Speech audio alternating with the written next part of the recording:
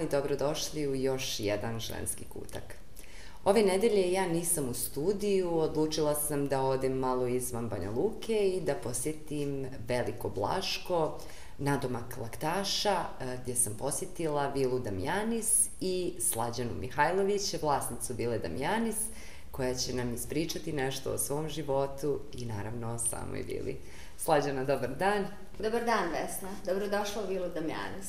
E, bolje te našla, evo ja rekoh, e, došli smo da te posjetimo, da e, vidimo otprilike o čemu se radi, pa nekako obišla sam Vilu Damjanis, vidjet će i gledalci kako to sve izgleda, mene je oduševilo, ali evo nekako da krenemo od početka. Odakle ideja da se sama Vila napravi? Pa sama ideja je potekla, da kažem, i nastala onog trenutka kada je kada smo ja i moj brat koji smo zajedno, u zajedničkom poslu inače mm -hmm. radimo, o, došli na ideju da ovu kuću koja je već bila sagrađena, koja je postojala, koja je mm -hmm. bila namjenski, čekala da ja dođem da živim u nju, a kako nije trenutak ni vrijeme o, još za moj dolazak na selo mm -hmm. iz grada, ovaj, odlučili smo da sredimo, da radimo, da opremimo onako kako bi ja željela da se opremi za moj dolazak, a da neke godine, pa ne znam koje, sad ne znam koje će to godine biti, da pokušamo da radimo, da izdajemo, da pravimo neku priču novu u ovom okruženju i nadam se da smo uspjeli. Nadam se. Evo, to je uh, krenulo prošle godine, ali evo, rekla si da je kuća namjenski uh, građena, ti si uh, ovu zemlju naslijedila od roditelja, roditelji su Jeste, ja sam dobila od roditelja ovu zemlju, kuća je građena prije, da kažem, 10-15 godina, ovako kao što vidite, mm -hmm. ništa se nije mijenjalo, pokrivena je bila i tako je stajala, čekala mm -hmm. ovo neko vrijeme da se krene u izgradnju ovog lijepog interijera. Mm -hmm. ovaj, tako da prošle godine u 18. jula je bilo otvaranje zvanično da kažem, a 4. august je bio dan kad sam imala prve goste u Bildu. E, znači, dosta je interesantan taj put je bio. Nekako e, ljudi očekuju sada kada neko napravi objekat koji izdaje za proslave, za rođendane, da je to namjenski građen objekat za to. Međutim, ovaj objekat nekako i djeluje kao kuća u kojoj se živi. Jer ti si to spremala, Jeste, sama si rekla, a, za sebe, za svoju djecu. Jeste, sve što ovdje vidite kako je urađeno, kako je sređeno, šta je napravljeno, to je sve rađeno onako kako sam ja željela uh -huh. i mhm. htjela i pravila za svoj život. Ne za goste, a sad naravno, jeste za moje goste i vidim da se dopada takav, takav uopšte koncept i mojim gostima. Ovaj, ne znam, ne znam, kažem vam, nisam ni jednog trenutka ni jednu ovu stvar, ni ovaj detalj stavila tu zbog nekih tamo ljudi koji bi došli uh mhm. -huh. ovdje da baš to vidje, to je tako kako bi ja živjela tu. Evo, uh, ovo spada u uh, turizam, recimo to tako. Dobro. Uh, ti si završila srednju turističku Jesam. školu. Uh, da li si očekivala kada si završila školu, obzirom da si mijenjala branšu, a kasnije ćemo i o tome, da li si očekivala da ćeš se nekada vratiti ne. turizmu? Ne, ovo je da kažem neka iznenadna ideja, odluka, neki novi svijet mm -hmm. koji me je snašao da kažem, ali kojeg volim i mislim da se dobro snalazim i da dajem, dajem ljubav i energiju da ovo živi, radi i da bude, bude naj, najbolje. Da li je bilo malo podsjećanje, jao, kako smo to učili u školi, da li je bilo malo podsjećanje na taj ne, period? Ne, vjerujte, ne. ne, krenulo je samo od sebe. Samo od sebe, ništa, ništa, ništa s tim da bežemo. E, nisi sama u tom poslu, e, rekla si da je ideja tvoja i bratova, e, vi inače radite zajedno, imate svoju porodičnu firmu, pa evo, kratko da se dotaknemo, pošto je to potpuno druga branša. Yes. Tu ima nešto što je e, prvenstveno se bavite e, prodajom nafte i naftnih derivata, odnosno benzinska pumpa je u sklopu tog posla, ali ima mnogo drugih stvari koje nisu baš ni specifične za ženu. Da vam kažem, e, ja radim u porodičnoj firmi, uh mhm. -huh. moj brat je direktor Bambus Petrola, to je firma koja sadrži, da kažem, sa tih više grana, e, benzinska pumpa, kafić, autoservis, tehnički pregled vozila, homologaciju vozila, Znači sve nešto što Da, mm -hmm. nema veze sa ženskim poslom. A, ja i on zajedno radimo, on je direktor, ja sam, da kažem, njegova desna ruka. Mm -hmm. A, funkcionišemo dobro, jedno drugo dopunjavamo u svim situacijama, dobro se slažemo, imamo dobar odnos. A, roditelji su nam predali ovaj posao, mi smo ga rado prihvatili. Mislim da ovaj, da kažem da radimo kako treba, da ćemo opravdati njihovo povjerenje kao mhm. prvo. A, kao drugo, da, brat je i u ovom poslu, u ovoj ideji, naravno, krenuli smo sa nečim, on je meni dao krila da ja to nastavim, idem dalje, ja bi stala, vjerovatno, bez njega ne bi mogla. On je, ovaj, on je bio taj koji je -hmm. pomogao u svemu i dalje je tu za što god treba, jeste da se ja više bavim samostalno ovim mm -hmm. ovdje poslom, ali on uvijek tu negdje. Uvijek je on Podrška da... za sve. I da neki način i da gurne, da pogura, da kaže možeš ti to. Da, uvijek. Ja njega sa nekim drugim idejama i stvarima, uvijek da gurnem ja njega, a ovdje on mene onako baš konkretno pomogne sve. Kažem vam, uvijek je tu i rado pričam o ovom, ovaj, i rado ističem njega kao nekog, da kažem, i za svoj uspjeh, ali to je naš uspjeh. Pravimo jednu kratku pauzu pa se vraćamo u razgovoru. Važi.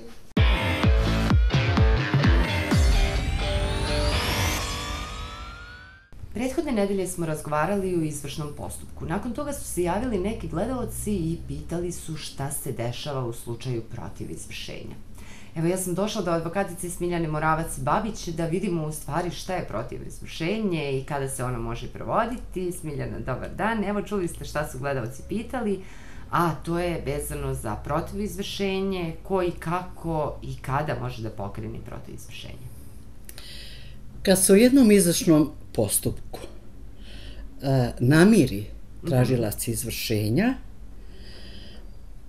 dva puta, znači putem suda ili e, znači i pored suda na drugačiji način može mhm. doći do dobrovoljnog ispunjenja. Može neka druga situacija biti. Onda izvršenik, kad dakle prođe taj izvršni postupak, u tom izvršnom postupku, istom izvršnom postupku, može podnijeti prijedlog e, za protiv izvršenje. Mm -hmm. I sad se mijenjaju uloge izvršenik postaje tražilac izvršenja, odnosno protiv izvršenja, a tražilac izvršenja postaje izvršenik, odnosno protiv izvršenik. E, koje radnje preduzima sud i kakve odluke uopšte donosi, da li je sve identično, da li sve postaje identično kao u slučaju e, izvršenja? E, prije svega mora znači doći do prijedloga za protiv izvršenje, e, koji prijedlog podnosi izvršenik. I on predlaže da sud donese rješenje o protiv izvršenju i da obaveže tražioca e, izvršenja da mu vrati ono što je dobio, jer se on dva puta namirio tražilac izvršenja. Ako se radi e, o novčanom davanju, Mhm. onda ima pravo da traži i kamatu koja se računa od e, tog dana, odnosno datuma kad je on dao novčana sredstva pa sve do isplati. E, postupak po prijedlogu za protiv izvršenje je identičan e, postupku po prijedlogu za izvršenje. Znači, sud će, kad zaprimi prijedlog za protiv izvršenje, isti dostaviti tražiocu izvršenja i ostavit će mu zakonski rok od tri dana da se izjasni e, o prijedlogu e, izvršenika za protiv izvršenje. E, tražilac izvršenja može naravno da prihvati taj prijedlog i da vrati ono što je mhm. dva put primio, znači e, dovoljno je da je jedan put primio e, ono drugo što je primio e, izvan toga vraća. Mhm. Može da se izjasni da ne prihvata prijedlog za protiv izvršenje.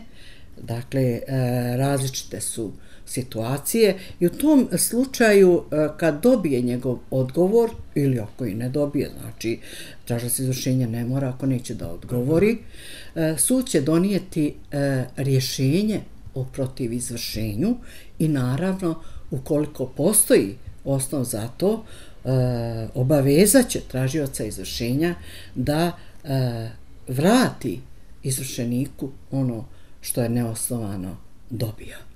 Da li je uvijek moguće e, pokrenuti postupak protiv izvršenja?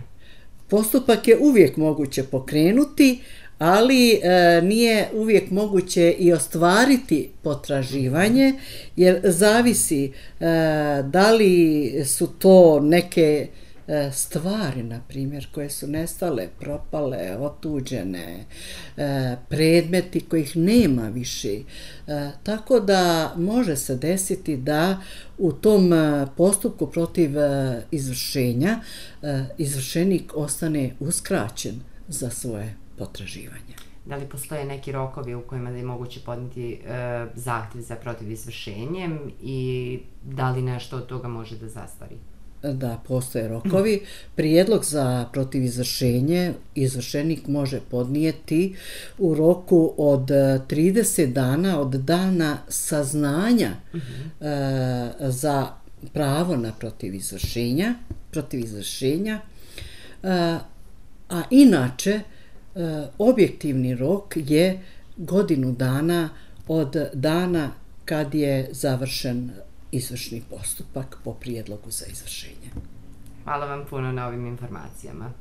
Čuli ste, može se podnijeti zahtjev za protiv izvršenje u slučaju da je neki neko ko je tražio izvršenje dva puta naplatio svoje potraživanje, vi imate pravo da vam se vrati višak sredstava koji vam je naplaćen, da li sudskim putem ili dobrovoljno, ali u bilo kojoj varijanti kada je u pitanju izvršni postupak ili protiv izvršenje, najbolje je kontaktirati nekoga od advokata, jer oni najbolje znaju kakva su vam prava, kakve obaveze i koji su sve rokovi.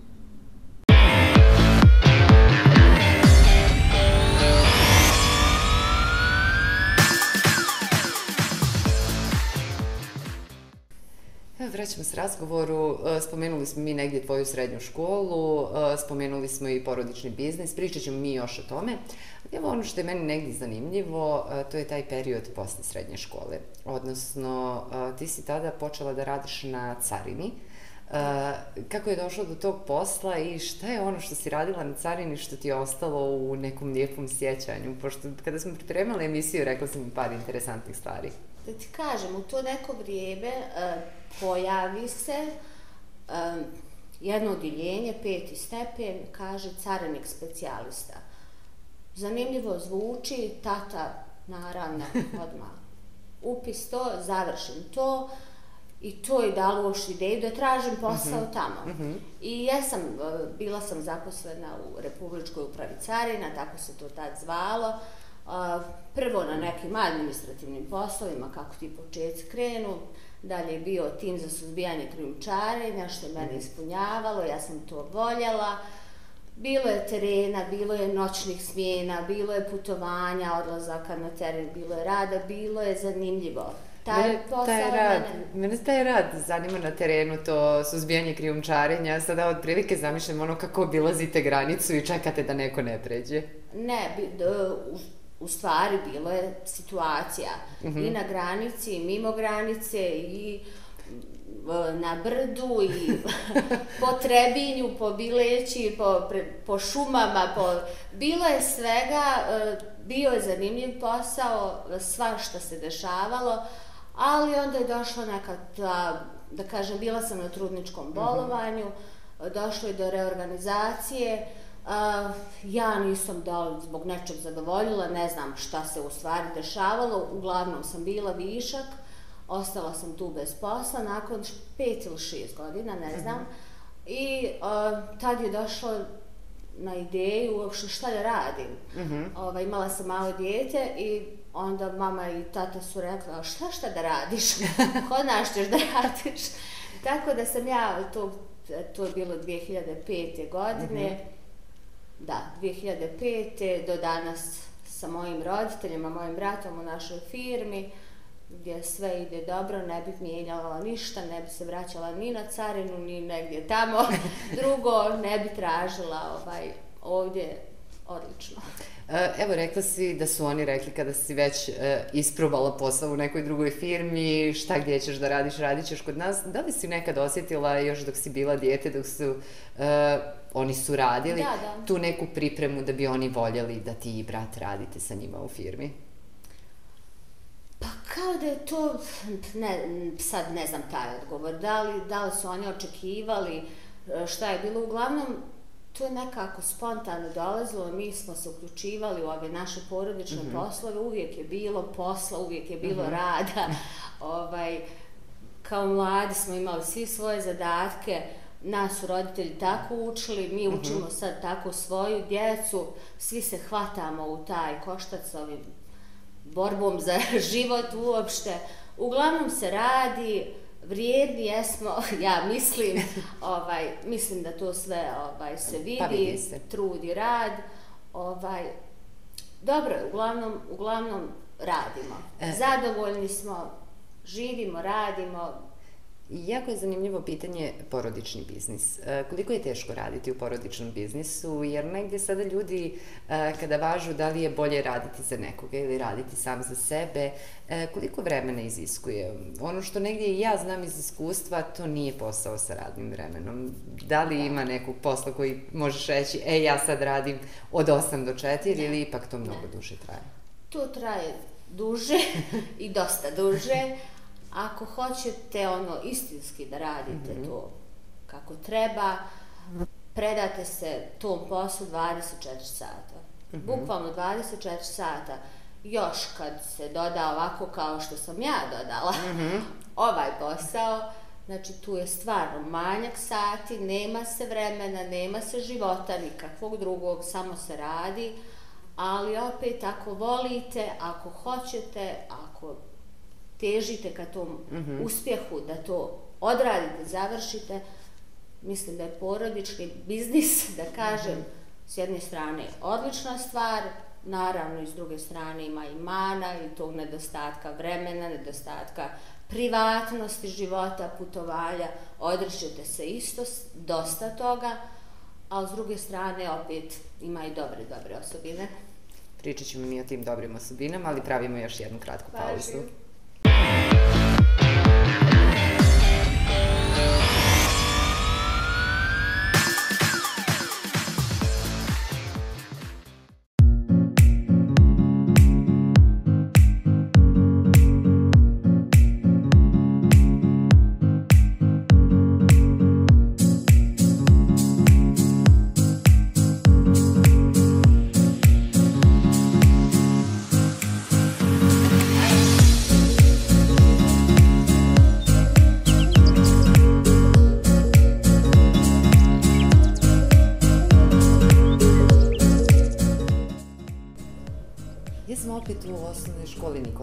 Tesla i ovaj put sam došla da porazgovaram sa nastavnikom fizičke kulture Milenkom Barjektarovićem o fizičkoj kulturi u osnovnoj školi, potrebi za fizičkom kulturom u osnovnom školstvu.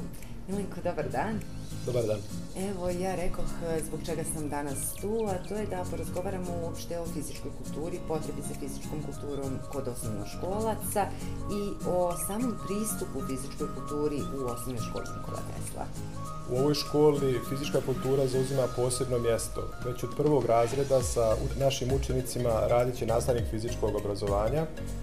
Cilj nam je da pod broj 1 iskoristimo nastavni plan i program, realizujemo sve posebne i opšte ciljeve koji su predviđeni, da svakom djetetu individualno posvetimo pažnju i izvučemo maksimum iz njega kroz naše sportske aktivnosti koje će se najviše odvijati u vanjskom prostoru, za koje imamo predviđene sportske terene, kao i u zatvorenom gdje smo predvidjeli bavljanje korektivnom gimnastikom, vježbama oblikovanja snage i interaktivnim poligonima. Dosta interesantno dijelu i evo pomenuli ste sportske terene u okviru školskog kampusa. E, šta se sve priprema? Jeste, mi imamo dva teniska terena, imamo u pripremi jedan teren za bavljanje sportovima na pijesku, kao jedan savremeni multifunkcionalni sportski teren koji će, na kojem ćemo moći obavljati sportske aktivnosti bez obzira na sve vremenske uslove. Znači, cilj nam je da iskoristimo lijepo vrijeme i što više radi zdravlja naše djece budemo vani, kao i u okruženju naše škole. Mm -hmm. vi imate dosta tih aktivnosti, koliko je to bitno i koliko je fizička aktivnost bitna za psihički rad, pošto kažu da je to negdje povezano? Jeste, to je povezano i mi hoćemo da se naša djeca razvijaju u tom smjeru, zajedno povezujući i sve ostale aktivnosti u našoj školi, njegujući prije svega fair play, i takmičarski duh kod naših učenika. Znači, bit će i takmičenja nekih predviđena? Naravno, predviđamo da ćemo biti kako dobri učesnici, tako i dobri domaćini na, na našim sportskim terenima u okviru svih takmičenja koja su organizovana u organizaciji ili grada ili malih olimpijskih igara u budućnosti. Evo, zanimljiva je i stvar, što sve obuhvata vaš posao pored samog posla a, profesora, nastavnika fizičkog vaspitanja, pošto ljudi otprilike ne znaju šta je ono sve što vi treba da radite tu?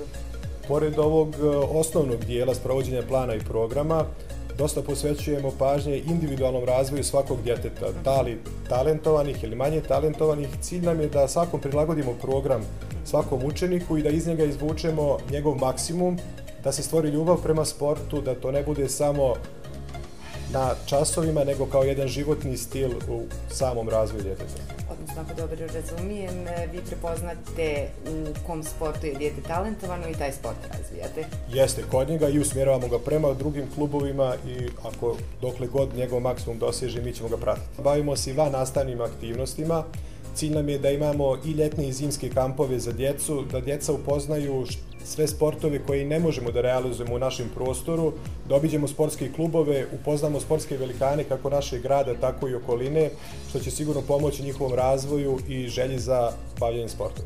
Odlično. I evo, za kraj samo još da nam se predstavite i vi ko je u stvari e, Milenko Parjaktarović.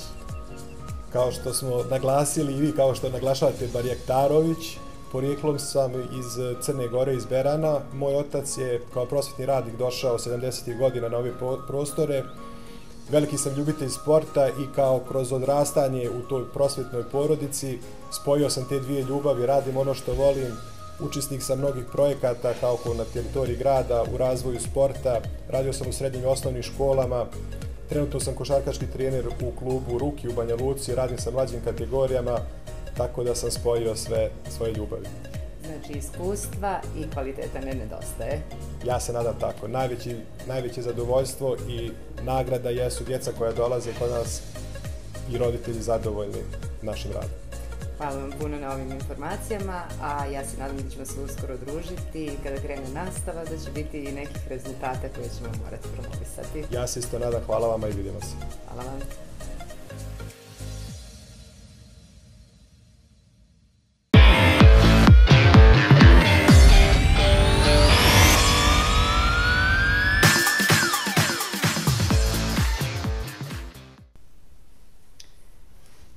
Pred e, pauzu smo pričali o tome kolika su prednosti e, i kolike su mane kada se radi porodični biznis. I ono što je meni ostalo nekako upečatljivo, to je da su roditelji tebe i brata vaspitavali da radite, da ste svi imali svoje zaduženja i da na neki način vi to prenosite na svoju djecu.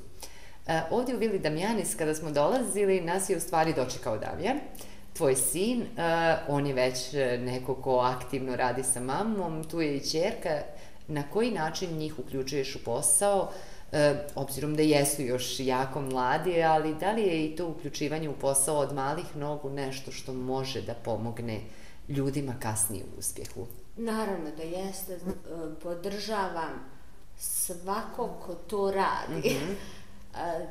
Loša su vremena, teška su vremena. Smatram da djecu svi moramo učiti da samo isključivo mm -hmm. rade, mm -hmm. da znaju šta su radne zadaci, radne obaveze. Naravno, podržavam i nisam ona stroga majka mm -hmm. da kažem ne može ovo ili ono, o, oni sve mogu, sve im je dozvoljeno. Mm -hmm. ovaj, e, s tim da ipak imaju dozu toga, moramo odraditi posao, moramo odraditi ovo ili ono, zaista su dobri, hoće, Damjan je veliki, mm -hmm. on će sad imati 17 godina, ali dosta mi pomaže ovdje u Vili, ovdje treba dosta rada, Milica također uključuje se u, u sve što treba i može, naravno tu se zna koji su njihove obaveze i ovaj zadaci ovdje. E, timski to odradimo jer imamo vrlo malo vremena nekad, kad imamo smjenu gostiju na malo, malo sati, kad imamo Zaista imam divne ljude oko sebe, pored moje djece, e, svi su divni, dobri od komšija, prijatelja, ljudi koji su angažovani da mi ovdje rade, svi su timski odradimo taj posao onako i drugarski i poslovno i sve to nekako bude. Mm -hmm. Ali imamo malo vremena i onda svi moramo raditi. Pa evo, meni je to baš zanimljivo e, zato što često ljudi žale se kako djeca e, ne žele da rade, kako neće da, što kažu, zategnu krevet za sobom u sobi, ali znači to je ipak nešto što kreće iz kuće i e, jedan dobar dogovor koji imaju e, sa roditeljima. Kako si ti na neki način razgovarala sa svojom djecom? Da li je bilo ono, da li od ranih, ranih djetinstva imaju taj odnos pa hoće da pomognu mami ili je bio dogovor kako ćete vi to zajedno? Mm, da ti kažem, pa ne, to se spontavno dešava. Recimo, moj Damjan je uz mog brata, uh mhm. -huh. a, pošto kažem, mi imamo dosta tih stvari. Uh -huh. On je mhm. već sa 15 godina ostao da ako ne ne Bože se desi nešto da neko radnik ne može nešto odraditi, da nešto treba, on je se uključivao da već mhm. zamijeni na toj poziciji. A, on evo, sa 15 godina je ostao da radi na pumpi, mm -hmm. u mhm. kafiću, pola sata, pola sata. Mm -hmm. e, auto pravona sad je aktualno, sad smo skoro otvorili tu samouslužnu. Mm -hmm. Znači, Damjan je uvijek imao zadatak šta može i gdje može pomoći. Tako da njemu sama situacija tako bila mhm. podređena uh -huh. da on ima gdje da radi, ima šta da radi, uh mhm. -huh. ovaj, i on, a on nije odbijao, nije dijete uh -huh. koje ne želi da radi, nego mu je to izazav. On bude počašćen, uh -huh. počašćen, Naravno. nagrađen, plaćen, kako god. Ovaj, to bilo, to njemu daje vjerovatno u volju, ali i naravno treba se uh -huh. nagraditi, tako da imamo taj nekakav odnos radimo, zaradimo, idemo trošiti u grad, mm -hmm. izlazak, bilo šta, nikad ga ne ograničavam, jer je on zaista svoj novac zaradio, već sad. Već sada. Yes. Milica se isto tako ugleda na brata, ona je još ma Milica malo... Milica je još malo, na... nju onako isključujemo, njoj dajemo neke lijepe poslove, ona je ovaj, ovako više za ovo nešto lijepo, ona tako mene našminka pa dobije Mm -hmm, znači ima, ovaj. ima znači afinitete, jako da. lijepo te našminkala. Ovaj, tako te neke stvari, ove po kući, to nju da dajemo mm -hmm. nešto teško. Ova, ona još, hvala Bogu, još ne izlazi tako zvanično kao on, ali ove, kažem vam, tu smo nekako uz taj dogovor, radimo sve zajedno jedne druge podržavamo. Evo, to je dosta interesantno, pošto uh, ljudi griješe kada misle da neko ko ima svoju firmu u stvari ne radi ništa, već naređuje, ali pretpostavljam da ste i ti brat prošli kroz sve te faze, sve. da ste sve morali odraditi da bi znali kako raditi dalje. Pa jeste upravo tako. Na, iskustvo uh, nama govori, recimo, na svim pozicijama ovim koje sad imamo u mhm. firmi, uh -huh. sve moje radne kolege koje su tu, ja sam trebala preći ne kažem mm -hmm. bukvalno da sam ja morala popraviti auto da bi ja, ali kažem ovaj, sve njihove zadatke to ja propratim jer ja vodim kompletnu firmu bambusa mm -hmm. ovaj, i ne može se, ne može se znati dok, dok čovjek to ne radi, ne može da zna kako funkcioniše mm -hmm. ovaj, taj sistem da bi to nešto vodio uopšte mm -hmm. i mhm. brinuo o tome. Tako da kažem, i u ovom ovdje mom sad svijetu, Vile Damjanis i ovom i sigurno u bilo kojem drugom, mm -hmm. dobra organizacija, vrijedan rad, trud, m, samopouzdanje, mm -hmm. da su ključni i vjerujem da se može uspjeti. Vjerujem. Ja isto vjerujem. Još jedna kratka pauza pa se vraćamo razgovoru.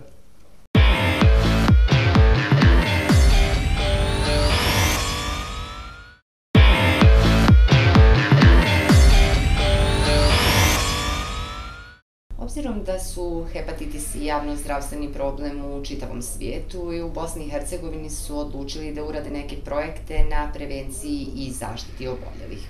U pitanju su projekti rano otkrivanje, upućivanje i liječenje pacijenata s hroničnim hepatitisom C u Bosni i Hercegovini i mikroeliminacija hepatitisa C u bolesnika s terminalnim hroničnim zatejenjem bubrega. O hepatitisima i uopšte o projektima već smo razgovarali sa gospodinom E, Sinišom Skočibušićem iz Mostara, a danas sam došla do infektivne klinike u Banja Luci da porazgovaram sa načelnicom infektivne klinike, odnosno klinike za infektivne bolesti, Antonijom Verhas. Antonija, dobar dan. Evo, e, pratimo na neki način i taj javnozdravstveni problem e, oboljenja hepatitisa, pa da čujemo šta su uopšte neki rizični faktori pojave hepatitisa. Dobar dan i vama i zahvaljujem se što ste došli na današnji dan, samo dan E, poslije 28. jula, dan koji se obilježava u svijetu kao dan svjesnosti o hepatitisima kao što ste na početku rekli, to jeste javno zdravstveni problem, a to znači da je on problem za zdravstvene sisteme, problem jeste za ekonomiju, ako hoćete, i bogatih i siromašnih zemalja. Iz prostog razloga što je diagnostika i terapija e, liječenja ovakve bolesti zahtjevna i skupa.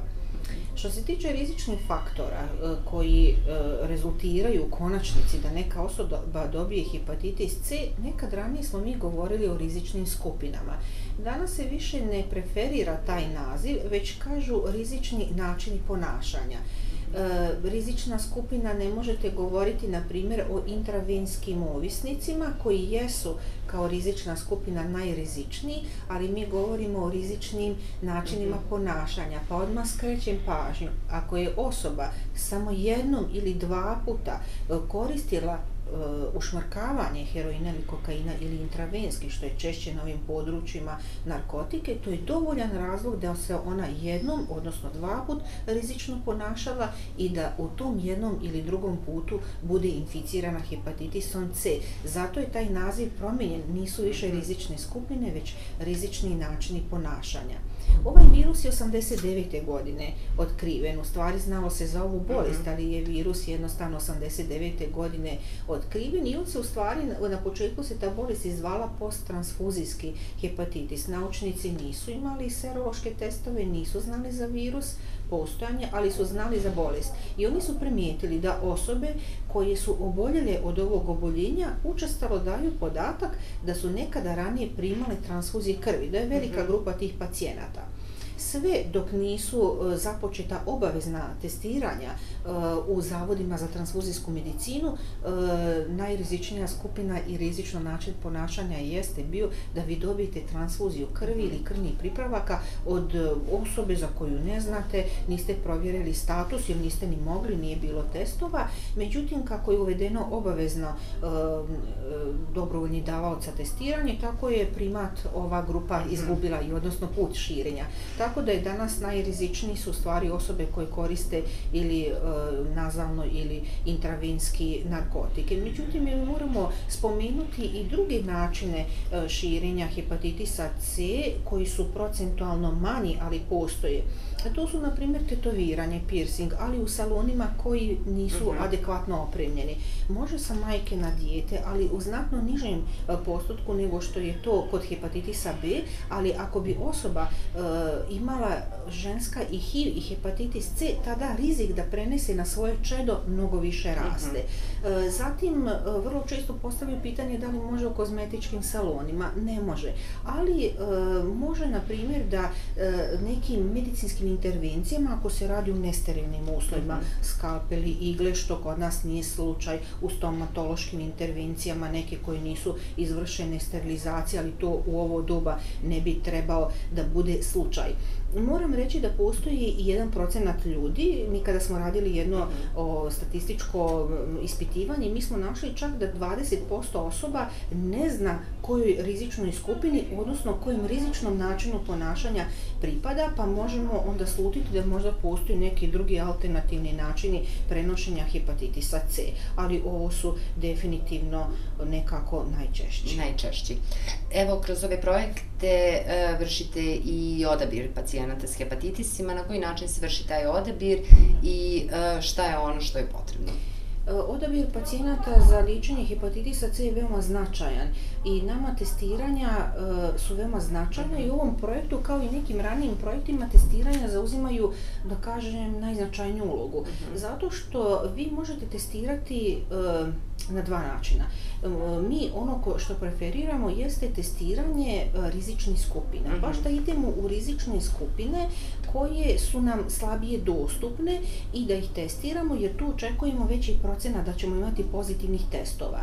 Možemo mi da testiramo i opštu populaciju, međutim testiranje opšte populacije se nije preferiralo do možda um, stvaranja strategije svjetske zdravstvene mhm. organizacije. Danas se može i opšta populacija uh, testirati. Uh, odabir pacijenata se vrši na taj način kako nama pacijenti dolaze. Pa iz Zavoda za transfuzijsku medicinu, na primjer, željeli su da budu dobrovoljni davaoci krvi, oni su tu došli, uradili su testove ne samo na C, već B, HIV i sifilis, to je obavezno testiranje i onda se utvrdilo da imaju serološki anti-HCV test pozitivan, nama se upućuju. Vrlo često imamo sada pacijente koji su na biološkoj terapiji, kao reumatološki pacijenti, kao gastroenterološki, u sklopu obrade za mhm. uključivanje nekih terapija, danas stoji opcija, molim da se urade serološki markeri i mhm. onda nama pacijenti dođu sa takvim uh, testom pozitivnim može da bude razlog da je neka osoba primijetila tup bol ispod jetre, da je uradila ultrazvuk pa doktor vidio grubu jetru, pa uradila jetrne enzime koji su povišenih aktivnosti i njih porodični doktor kaže hajmo sada na kliniku za infektivne bolesti, uradite testiranja i onda mi utvrdimo da se radilo o hepatitisu C pozitivnog ide u dalji e, protokol za diagnostiku. Na početku ste vi rekli da u ovu skupinu spadaju i pacijenti na dijalizi. E, oni jesu isto tako e, možda grupa koja je mhm. nekad, koja je možda pod većim rizikom, rizikom. Zašto nekad ranije su oni mnogo više transfuzija krvi primali, danas to nije slučaj, ali oni su izloženi čistim medicinskim intervencijama, vađenju krvi i nekim drastičnim mhm. medicinskim intervencijama, osim toga dva, odnosno tri puta najčešće idu nedeljno na dijalizu i to je dovoljan rizik. Tako da mi u centrima za dijalizu imamo bijele sobe i žute sobe, to je pozitivne i mhm. negativne, zato što je utvrđeno jednom uh, studijom, mislilo se da se to prenosi putem aparata za dijalizu. Mm -hmm. Međutim, onda se otkrilo u stvari da su najrizičnija kolica na kojima se nalaze e, medicinski instrumenti i materijal i ako dođe do miješanja, da jednostavno preko kapljica krvi i mo je moguće da se prenese. Znači, i oni na neki način predstavljaju nama skupinu pod posebnim ovaj, e, svjetlost, onako na njih dajemo. E, evo, mi ćemo svakako obraditi načine liječenja u nekoj od narednih emisija, ali ono što je bitno u jednoj rečenici da kažemo, hepatitis C danas više nije neizlječiva bolest, on je potpuno izlječiv. To je najznačajnija rečenica. Evo, hvala vam, dr. Kantonija, na ovim informacijama. Mi se svakako vidimo u narednom periodu da damo i neke informacije oko samih liječenja. Naravno, svakako, hvala vam.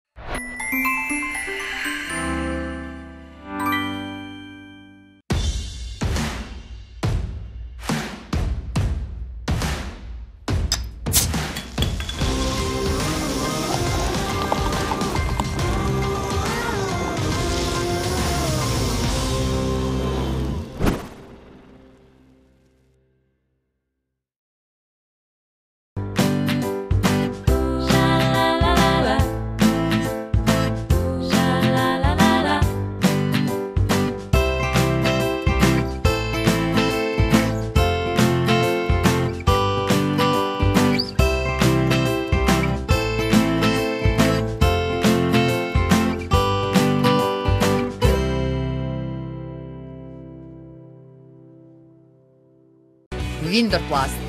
Donosimo toplinu u vaše domove. Aluminijumska i PVC stolarija i bravarija. Prozori, balkonska vrata, garažna vrata, ulazna vrata, pregradni zidovi, klizni prozori i vrata, rolete, njemački repromaterijali, savremene mašine i stručno osoblje.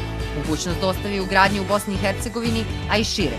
Pouzdani kvalitetan smo partner u izgradnji stambenih i poslovnih objekata. Nas preporučuju Lindor Plast. Ja sam Hannah Ware. Kao glumica volim istraživati. Volim promjene.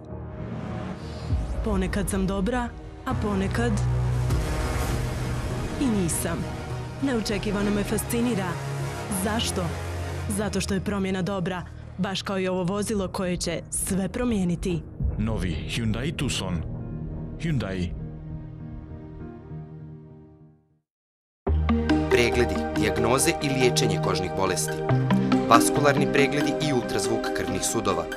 Podmlađivanje, trajno uklanjanje dlačica i tetovaža. Masaže. Pregledi i hiruško uklanjanje mladeža. Specijalistička ordinacija dr. Roljić.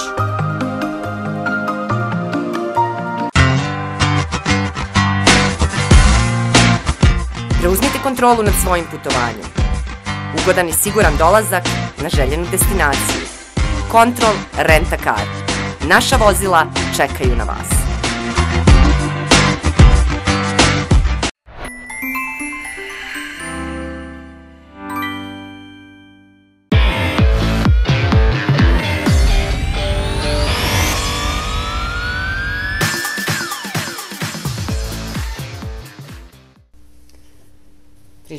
Pričamo a stalno smo tu u Vili Damjanis. E, zanimljivo mi je, mada većina ljudi otprilike kad je čula u ovom dijelu kada smo spomenuli sina Damjana, nekako po njemu nosi ime.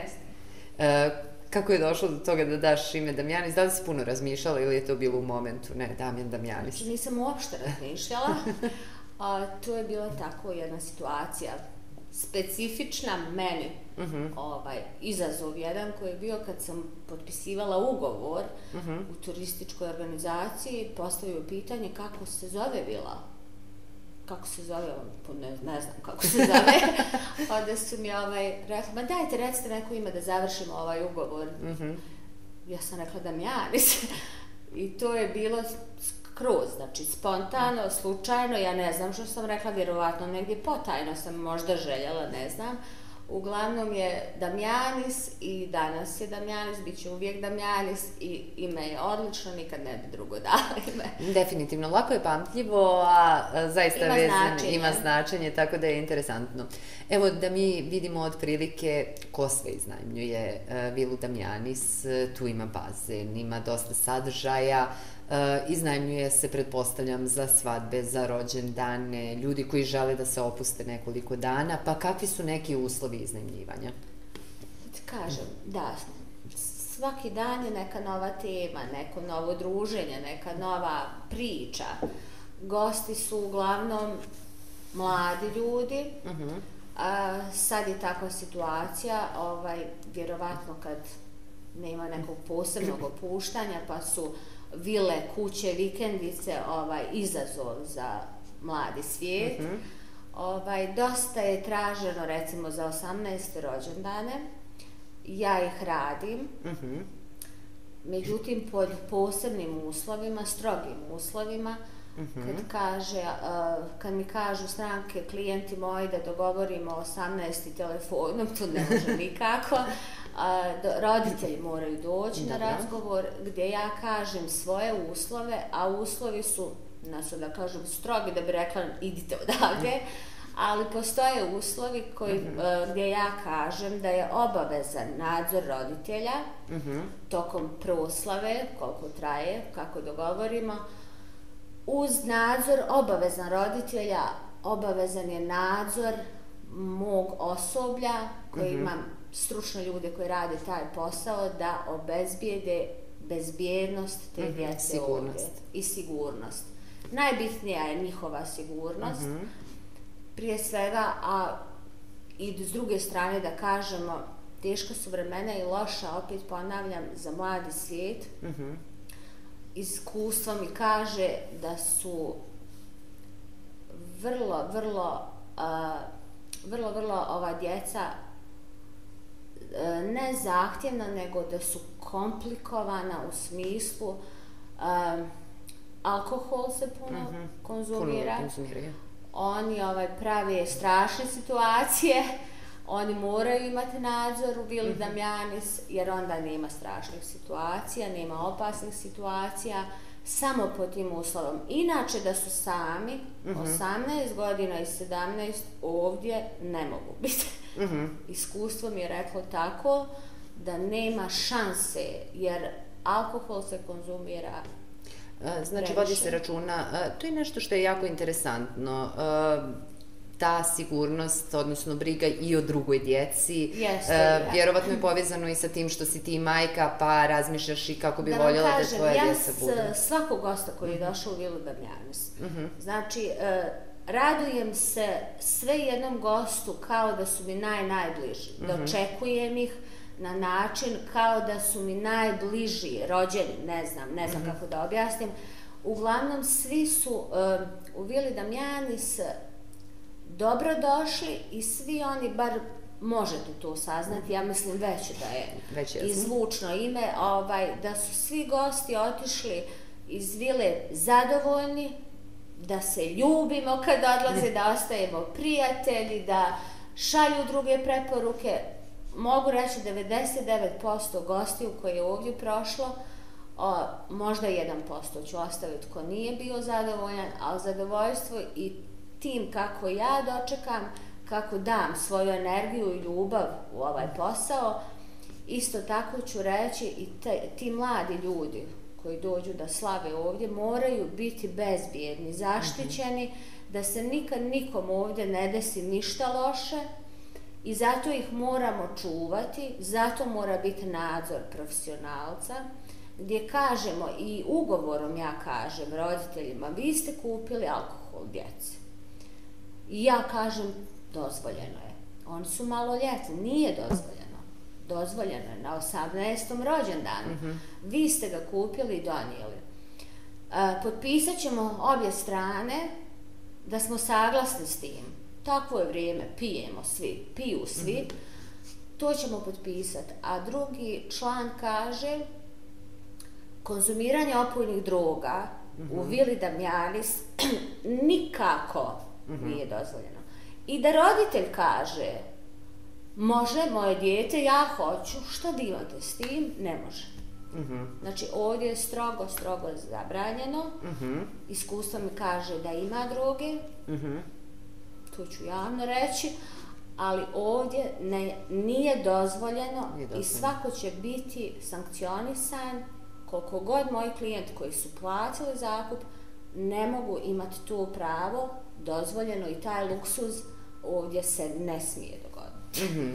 E, to je jako e, interesantno što si sada rekla, ta e, briga o bezbjednosti uopšte e, tvojih gostiju, jer tu najviše brineš o njima. Na kraju krajeva oni sa opojnim drogama najviše štete nanose sebi, ali ti si se potrudila da bar u ovom objektu ovdje e, budu sigurni da ne bude nekih problema, odnosno i da taj 18. rođendan zapamte po nečemu lijepom, a ne po nečemu što se loše može desiti. Upravo tu rečenicu na sve jednom mom dogovoru sa roditeljima, sa djecom kad dogovaramo, ja kažem, s, e, zakup ide, uzimate ovako nešto u zakup, Vile Damjanis, sve što vam se nudi, znači iskoristite tu priliku da uživate, da ostane vam u pamćenju, taj 18. rođendan specifičan i poseban, nije kao na drugim možda nekim lokacijama koji do sad kako su se slavili ti 18.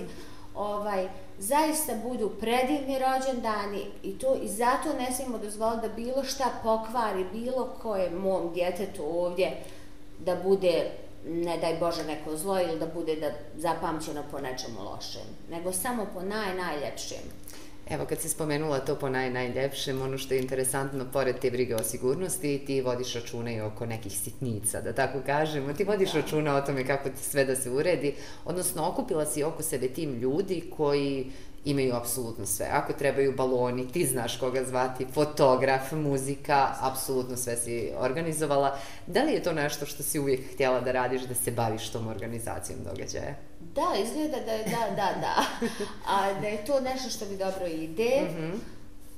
Neka to kažu stvari neki ljudi koji to baš rade, pa da kažu da li mi to ide. Ja nisam profesionalac u tom smislu, ali ovdje u Vili Damjani sam pokušala primijeniti i mislim da je uspjelo gdje ja odradim dosta, moje goste, sve jednog mog gosta sam dočekala, onako kako sam ja zaključila iz razgovora u kojem smo bili na temi dogovora, pa sam ja pokupila i pohvatala njihove želje, željice i nešto, kako sam ih ja dočekala, a oni to nisu očekivali, tako da vjerujem da uspijem u toj namjeri, a s druge strane kažem nisam profesionalac, mm -hmm. ima ljudi koji profesionalno rade taj posao, koji poštujem iznad svega, I kada se desi situacija da ovdje imam ozbiljnu temu, da mi ljudi traže mene, mm -hmm. preporuku, imate li bilo koga ili koga vi me, nama nudite za taj tipa dekoracije, balona, cvijeća, DJ-a, kako se kaže?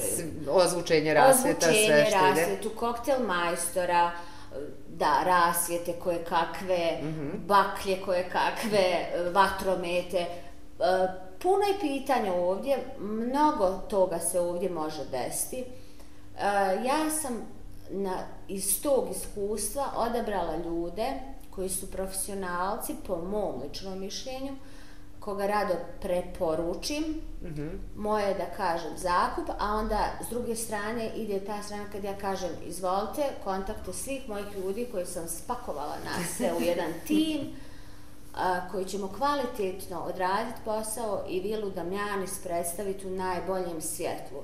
Svi ste vi koji dođete raditi u moj prostor, kojim ja ustupam mm -hmm. za vaš rad, za, za vašu uslugu da pružite kod mene, ali svi ste vi ogledalo samo Vile Damjanis. Zato želim najbolje imati ovdje u mojoj ponudi.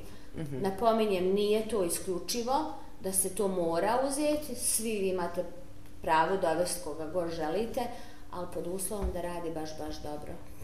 E, ima mnogo planova, evo mi ćemo morati završavati emisiju, privoditi kraju, ali jako interesantno, e, početkom prošle sedmice, odnosno početkom ove sedmice si imala već e, nekakvih aktivnosti koje su bile dosta interesantne, e, mnogo mojih prijateljica je bilo tu u posjeti, znači imala si onako i neku modnu reviju, i koktel, i predstavljanje, ali u sve to je bila i humanitarna akcija. Uh, kako je sve proteklo. Evo, gledalci su vidjeli već neke fotografije, vidjet će ih još, ali e, zanima me kako si ti zadovoljna sa svim, kako je prošlo. Ja sam prezadovoljna uopšte ta noć kako je izgledala, e, iz razloga što sam ja kao amatir organizovala mm -hmm. to, to ideja moja došla, ne znam, neko, nešto me je navelo na to.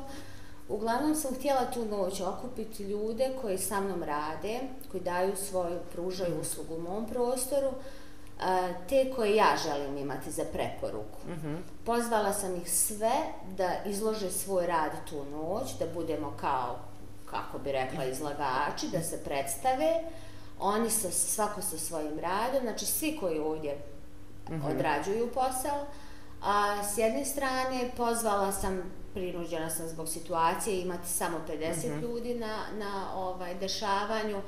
Pozvala sam zvanice, da vide šta to vila može pružiti, kako to izgleda. I onda sam ja sama odlučila da bi to bilo divno napraviti uh, iz tog svega izvući jednu humanitarnu akciju napraviti da ta noć bude jedna kutija koja bi se ko koliko može bez ikakvog pritiska da stavimo svi po nešto za naše komšiju Aleksandra Milinkovića da pomognemo tu borbu uh, ljudi u njihovoj teškoj borbi, mm -hmm.